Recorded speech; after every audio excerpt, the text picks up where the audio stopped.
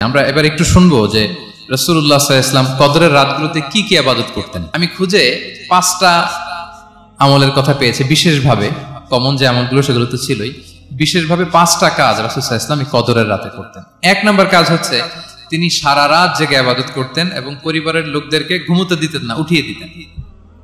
বছরের অন্য কোনো সময়ে সারা রাত জেগে আবাদত করার কোনো নজির রাসুল্লাহ ইসলামের জীবনে ছিল না। সব রাতে ঘুমাতেন।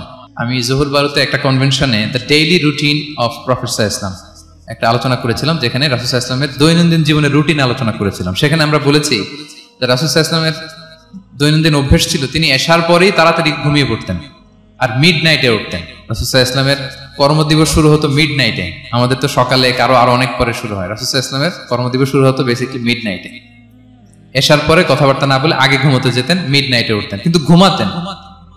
ঘুম ছাড়া রাত কাটাতেন না। সারা বছরের এটা ছিল যে আসার পর পরে ঘুমোতে যেতেন accept the last ten days of Ramadan রমাদানের শেষ দশ রাতে রাসুল ঘুমাতেন। না এই দশ দিনের ব্যাপারেই পাওয়া যায় সারা রাত জেগে তিনি আবাদ আম্মাজান আয়সা রাদি আল্লাহ তাআলা বলেন, ইদা দাখাল আল আশরু আহিয়া লাইলা ওয়া আইখাযা আহলা ওয়া জাদ্দা ওয়া শাদ্দাল মিজার।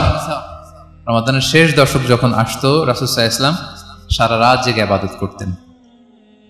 পরিবারের সদস্যদেরকে জাগিয়ে তুলতেন, স্ত্রীদের ঘুমাতে দিতেন না, জাগিয়ে তুলতেন। ফাতেমা রাদিল্লাহ আনহার ঘর পাশেই ছিল।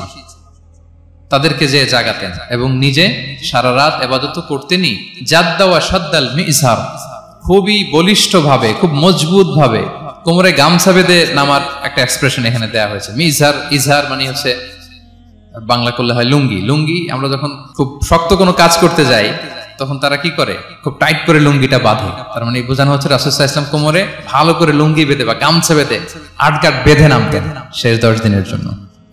এই সময় তিনি মানে কাউকে কেমন যেন চিনতেন না। সবসময় আবাদতে মগ্ন থাকতেন। এটা আমরা করতে পারি। যে শেষ দশ দিনে আমরা একটা স্পেশাল প্ল্যান করতে পারি যে আমরা আমাদের সর্বোচ্চটুকু উজাড় করে দিয়ে লাস্ট টেন ডেজ অফ রমাদানের এই বরকত আমরা হাসিল করব। এটা যেন আমাদের মিস না হয়। তাহলে এটা আমরা একটা পেলাম। দুই নাম্বার হচ্ছে কাফ করা। রসুল্লাহ ইসলাম রমাদানের শেষ দশ দিন করতেন। আমাদের বলেন, কেন আতাকিফুল আশাল আওয়াখরামিন রমাদান। রমাদানের শেষ দশকে তিনি কাফ করতেন। হাত্তা তাওয়াফাহুল্লাহ। ওনার ইন্তেকালের আগ পর্যন্ত এই অভ্যাসটাই তিনি জারি রেখেছেন। সুম্মা আতাকাফা আজওয়াজুহু মিন বাদে। তারপরে ওনার স্ত্রীরা কাফ করেছেন। আরেক বর্ণনা এসেছে, ইয়াতাকিফু কুল্লা রমাদান আশরাত আইয়াম প্রতি রমাদানে তিনি দশ দিন এতে কাফ করেছেন। কিন্তু যেই বছর তিনি এন্তেকাল করবেন, সে বছর তিনি বিশ দিন এতে কাফ করেছিলেন প্রতি রামাদানে দশ দিন। আর যে বছর এন্তেকাল করবেন, সে বছর কয় দিন? বিশ দিন তিনি এতে কাফ করেছিলেন মসজিদে নবীতে তাহলে আমরা এই রামাদানের শেষ দশকে এটা করতে পারি। দুই নম্বর পয়েন্ট হচ্ছে এতে কাফ করা। যারা আমরা করিনি, তারা আমরা এতে কাফ করতে পারি। আমাদের আইআইএম এর মসজিদ, এটা এতে কাফের জন্য একটা উর্বর জায়গা। আমরা যখন এই ক্যাম্পাসে ছিলাম, তখন দেখেছি যে এখানকার এতেকাফের পরিবেশ যে এত সুন্দর, এটা কল্পনাই করা যায় অসাধারণ পরিবেশ। আমরা যেন এতেকাফ করার চেষ্টা করি। এতেকাফ করতে না পারলে শেষ দশকের রাতগুলো যেন মসজিদে কাটানোর চেষ্টা করি। তা না পারলেও বাসায় যেন এই রাতগুলো আমরা মিস না করি। বিশেষ করে সেন্ট্রাল মস্কে তো অসাধারণ পরিবেশ, এটা হাইলি রেকমেন্ডেড ইফ পসিবল আপনারা আসবেন, এখানে আবাদতের চমৎকার পরিবেশ থাকে। তিন নাম্বার হচ্ছে রাসুসাহ ইসলাম এবং জিবুল ইসলাম যৌথভাবে কোরআন রিভিশন করতেন খুব ইন্টারেস্টিং সারা বছর যেটা নাজিল হতো, রমাদানে জিবরাল ইসলাম রাসুল ইসলামকে শোনাতেন, রাসুল ইসলাম আবার জিবরাল ইসলামকে শোনাতেন। সেই বর্ণনা, কানা জিবরিলু কুল্লি মিন রমাদান ফায়ুদারিসুল কোরআন। প্রতি রমাদানের প্রতি রাতে এসে রাসূল সাল্লাল্লাহু ইসলামের সাথে কোরআন মুদারাসা করতেন। সহি মুসলিমের বর্ণনায়, আন্না জিবরিল কানা ইউআরিদুহু বিল কোরআন কুল্লা আমিন মাররা। প্রতি বছর রমাদানে একবার শোনাতেন বা শুনিয়েছেন। যে বছর তিনি এন্তেকাল করবেন, তিনি দুইবার শুনিয়েছিলেন আর আদাই আরিদ মানে এটা ফ্রম বোথ সাইড আরবি শব্দটা এমন যে জিবুল ইসলাম শোনাতেন, এরপর রাসুল ইসলাম জিবুল ইসলামকে শোনাতেন। কোরআন রিভিশন করা। তো এই শেষ দশকের রাতগুলোতে আমরা যেন বেশি বেশি কোরআন পড়ি। কোরআন তেলাওয়াত কোরআনিক রেসাইটেশন হতে পারে, কোরআনের অর্থ পড়া হতে পারে, তাদাব্বুরে কোরআন হতে পারে, কোরআনের হালাকায় জয়েন করা হতে পারে। ইন ইটস এনি ফর্ম আমরা যেন কোরআনের সাথে অ্যাটাচমেন্টটা বাড়াই। লাস্ট টেন ডেজ অফ রমাদানে চার নাম্বার কেয়ামুল্লাইল করা। রাসুসাহ ইসলাম কেয়ামুল্লাইল করতেন। এবং কেয়ামুল্লাইল শব্দটাকে রাসুসাহ ইসলাম কদরের সাথে জুড়ে দিয়েছেন। সেই বুখারের বর্ণায় তিনি বলেছেন, মান কমা লাইলাতাল কদরি ঈমানা ওয়া ইহতিসাবা গুফিরা লাহু মা তাকাদ্দামা মিন যামবি কদরের রাতে যে কিয়ামুল করে, বিশ্বাস নিয়ে এবং নাজাতের প্রত্যাশা নিয়ে তার পূর্বের সমস্ত গুণ আল্লাহ তালা ক্ষমা করে দিবেন। তাহলে কেয়ামুল লাইলটা রসুল ইসলাম বিশেষভাবে কদরের রাতের সাথে সম্পৃক্ত করেছেন। আমরা যেন প্রতি রাতে কেমন লাইল করি, লম্বা সময় যেন দাঁড়িয়ে থাকি, লম্বা সময় পৌরাণিক রেসাইটেশন করি, দাঁড়িয়ে থেকে, লম্বা সময় রুকু, লম্বা সময় সেজদা স্পেশালিস্ট সেজদা, আখরাবু মা ইয়াকুনুল আবদু মির রাব্বিহি ওয়া হুয়া সাজিদ দুআ। বান্দা যখন সেজদায় থাকে, আল্লাহ সবচেয়ে কাছে থাকে। তো আমরা তো আল্লাহর সবচেয়ে কাছে যেতে চাই এই ক্রিম টাইমটাতে কি বলেন? আমরা যেন লম্বা সময় সেজদাতে থাকি। কিন্তু আমাদের অনেকের যেটা হয়, নামাজে তাড়াহুড়ো অনেকের। সব ব্যস্ততা যখন নামাজে দাঁড়াই, এরকম হয়ে যায়। রাসুসাহ ইসলামের সালাদ যদি আমরা খেয়াল করি, বিশেষ করে কেয়ামুল লাইলে, এত যে সুন্দর ছিল আম্মাজান আয়সা রাদিল্লাহ তালাকে জিজ্ঞেস করা হয়েছিল যে হ্যাঁ আম্মাজান রাসুসাহ ইসলামের কেয়ামুল লাইল কেমন ছিল? কীভাবে কেয়ামুল লাইল করতেন? আম্মাজান আয়েশা দেখেন, ওনার এক্সপ্রেশনটা কত সুন্দর। তিনি বলেছেন, ফালা তাস আল আন হুসনি ইসলামের কিয়াম যে কত সুন্দর ছিল, কত লম্বা ছিল, আমায় জিজ্ঞেস করুন, আমি বলতে পারব না। আমরা অনেক সময় যখন খুব বেশি চমৎকার কিছু হয়, তো আমরা কি বলি? ভাই, এত সুন্দর ছিল, আমি বোঝাতে পারব না। এরকম বলি না যে, এত অসাধারণ, আমি বলে বোঝাতে পারব না। বাংলাতেও কিন্তু আমরা বলি, এত চমৎকার, বলে বোঝাতে পারব না। শব্দের বুননে, ভাষার বুননে আমি ফুটিয়ে তুলতে পারব না। আমাদের আয়সা এটাই বলেছিলেন, ফালা তাস আল আন হুসনি হিন্না তুলি হিন্না ইসলামের রাতের নামাজ, কেমন লাইল যে কত সুন্দর ছিল, কত দীর্ঘ ছিল, লম্বা ছিল। আমায় জিজ্ঞেস করো না আমি বলে বোঝাতে পারব না।